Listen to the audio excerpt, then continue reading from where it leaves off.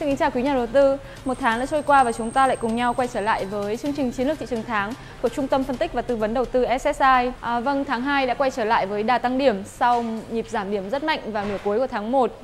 Mặc dù là đại dịch Covid lại bùng phát, tuy nhiên là đã được kiểm soát rất nhanh chóng cùng với những thông tin về vaccine sẽ được phân phối tại thị trường Việt Nam thì đây là những yếu tố đã hỗ trợ cho tâm lý nhà đầu tư. Thị trường tháng 2 kết thúc ở mức 1.168 điểm, tăng 10,6% so với tháng trước. Bước vào tháng 3 thì chúng ta đã cùng nhau chứng kiến một phiên tăng điểm rất là mạnh vào đầu tháng, giúp VN Index tiếp cận mức đỉnh 1.200 điểm vào ngày 2 tháng 3. À, mức đỉnh 1.200 cũng sẽ chính là một trong những nội dung mà chúng tôi cũng sẽ đề cập trong chương trình ngày hôm nay. Tuy nhiên trong chương trình tháng này thì ngoài những thông tin về chiến lược thị trường tháng thì chúng tôi sẽ đưa đến quý vị nhà đầu tư những thông tin về thị trường vĩ mô, về à, vĩ mô thế giới cũng như là vĩ mô Việt Nam và qua đó đánh giá xem là bức tranh vĩ mô tổng toàn thể có mang lại được diễn biến tích cực cho thị trường chứng khoán trong thời gian sắp tới hay không.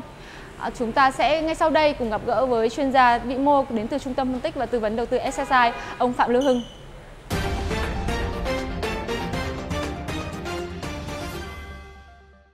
Vâng, xin chào anh Hưng ạ. Và rất là vui được chào đón anh quay trở lại với chương trình kiến thức thị trường tháng. Và khi mà đề cập đến ờ, câu chuyện vĩ mô thì có một nội dung đã được đề cập rất nhiều thời gian gần đây, đó là việc lợi suất của trái phiếu chính phủ Mỹ. Theo em được biết thì lợi suất trái phiếu chính phủ Mỹ kỳ hạn 10 năm à, đã tăng trong giai đoạn gần đây và điều này đã làm cho thị trường chứng khoán thế giới biến động rất là mạnh. Vậy thì nguyên nhân nào đã dẫn đến trạng thái này và điều này sẽ ảnh hưởng ra sao đến thị trường Việt Nam? Để mời anh có thể chia sẻ. Ừ, cảm ơn à, À, xin chào tất cả quý vị thì lợi suất trái phiếu chính phủ Mỹ kỳ hạn 10 năm là tăng khoảng hơn 60 điểm từ đầu năm đến nay và hiện nay ở mức trên 1,5%. Thì uh, nguyên nhân có uh, cho cái việc trái lợi suất trái phiếu chính phủ Mỹ uh, tăng cao trong thời gian vừa qua có thể đến từ việc là các nhà đầu tư đang kỳ vọng là kinh tế Mỹ cũng như là kinh tế thế giới là hồi phục mạnh hơn so với kỳ vọng và cái các cái giá cả hàng hóa trên thế giới hiện nay đang ở xu hướng tăng khá là cao. Do đó có thể khả năng là lạm phát có thể quay lại trở lại và như thế thì nhiều khả năng là các ngân hàng trung ương trên thế giới có thể rút lại các chính sách hỗ trợ uh, sớm hơn so với nhà đầu tư kỳ vọng. Uh, trong khi đó thì rất nhiều cổ phiếu, đặc biệt là các cái cổ phiếu ở trong nhóm ngành công nghệ hiện nay có mức định giá rất là cao bởi vì đang kỳ vọng là lãi suất sẽ được duy trì ở mức thấp trong thời gian rất là dài.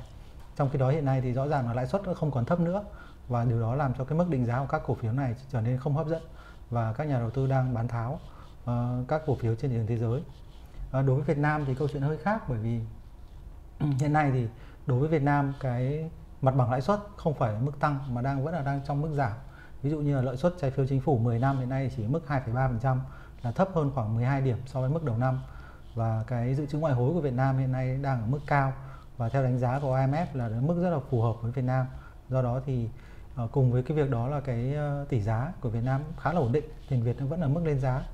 Cho nên là cái ảnh hưởng đến từ cái việc mà lợi suất trái phiếu chính phủ Mỹ tăng cao là hiện nay trong ngắn hạn về mặt cơ bản là chưa thấy. Đấy, đó là chưa nói đến chuyện là ừ, các nhà đầu tư nước ngoài vẫn mua dòng trái phiếu Việt Nam từ đầu năm đến nay. À, tuy nhiên cái về mặt ảnh hưởng ấy thì tôi nghĩ rằng là những cái ảnh hưởng mang chất tâm lý đối với thị trường tài chính là vẫn có. Bởi vì cái uh, trong nhiều thời điểm thì thị trường thế giới giảm điểm khá là nhiều và điều này ảnh hưởng đến tâm lý của các nhà đầu tư Việt Nam.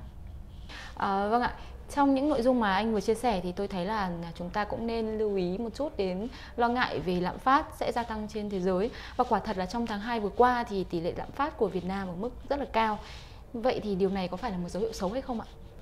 Ở lạm phát của tháng 2 đúng là mức khá là cao nếu mà nhìn vào con số khoảng à, 1,52%. Tuy nhiên thì một phần lớn hơn một nửa là đến từ cái việc là, là, là giá điện không còn được giảm như giống như trong tháng 1 nữa mà đã quay trở lại mức bình thường và nó làm cho tăng khoảng tầm 20% và nó chiếm hơn một nửa của cái mức tăng CPI trong tháng 2. Ngoài ra thì còn các cái mặt giá mặt hàng lương thực thực phẩm ví dụ như là giá thịt lợn, giá gạo thì có mức tăng ở trong tháng Tết và nó cũng có ảnh hưởng. Chưa kể là giá xăng dầu tăng trong thời gian vừa rồi cũng làm cho cái nhóm hàng uh, giao thông vận tải có cái mức tăng và nếu chúng ta loại trừ tất cả các yếu tố này ra thì cái phần tăng còn lại là không còn nhiều.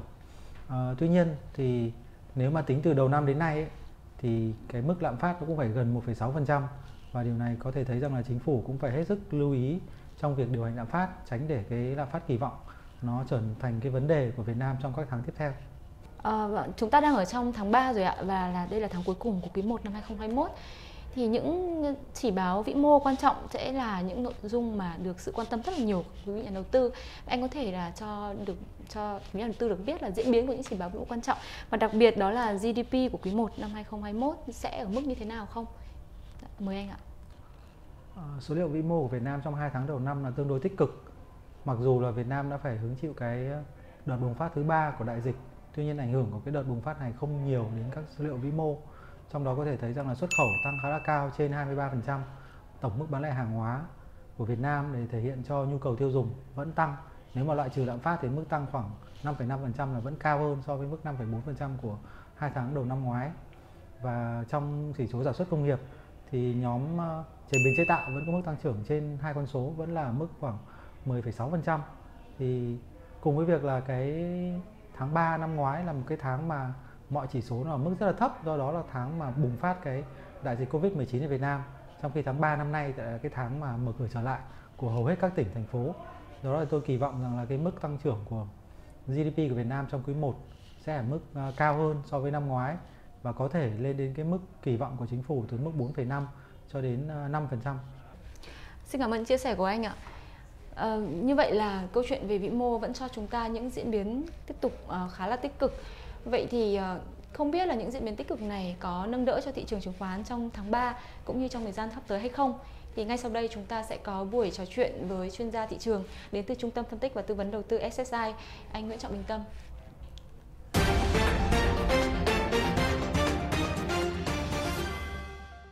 À, xin chào anh Tâm ạ, chúng ta lại cùng nhau quay trở lại với chương trình chiến lược thị trường tháng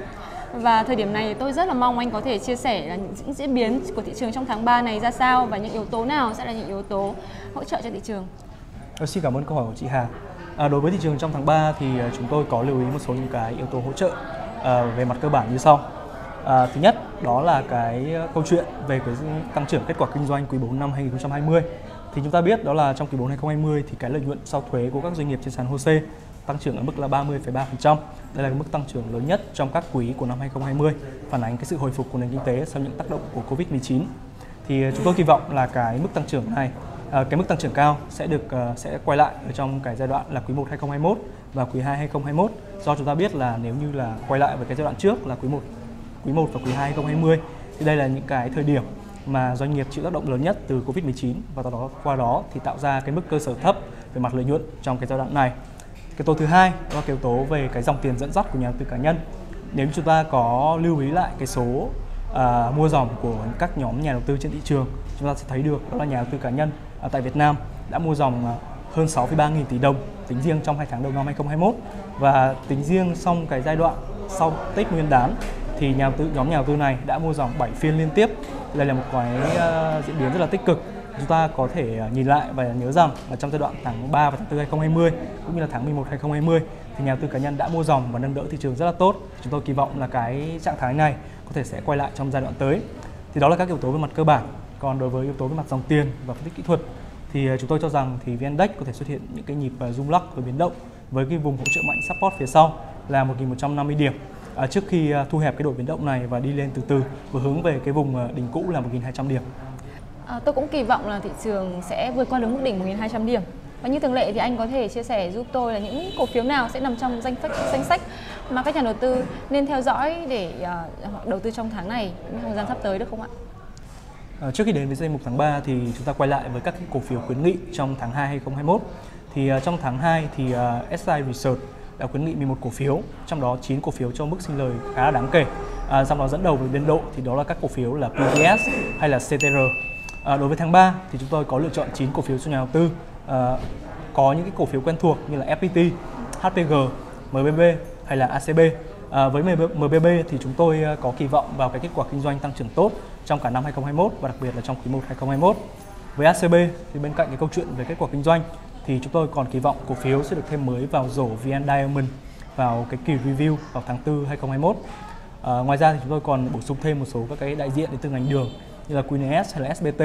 với cái câu chuyện nâng đỡ đó là cái biện pháp phòng vệ thương mại mà Việt Nam sẽ áp dụng với đường nhập khẩu từ Thái Lan. À, xin cảm ơn chia sẻ của anh Tâm.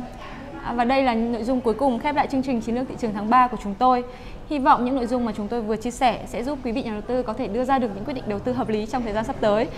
Và đừng quên đăng ký theo dõi kênh của chúng tôi để có thể nhận được những thông tin mới nhất từ SSI. Xin cảm ơn sự ủng hộ quý nhà đầu tư. Xin chào và hẹn gặp lại trong các chương trình lần sau.